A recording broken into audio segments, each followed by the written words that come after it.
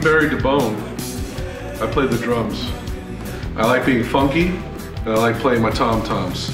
And I also love this record, self-titled by Aviary. Richard Bryans is amazing. He hits all the toms.